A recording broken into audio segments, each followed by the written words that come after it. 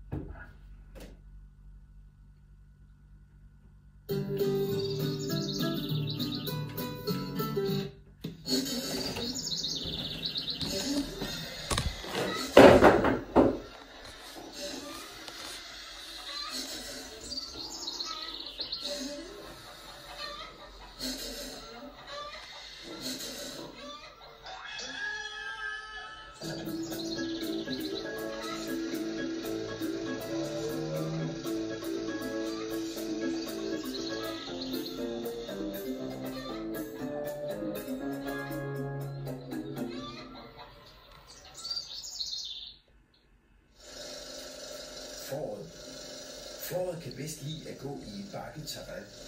De kan gå fra dagen og helt op i bjergene.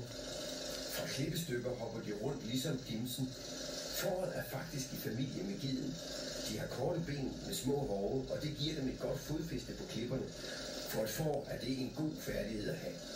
Veder har horn, og får har det også nogle gange. Men lam får det først senere. Vi opdrætter får for at bruge deres uld og spise deres kød.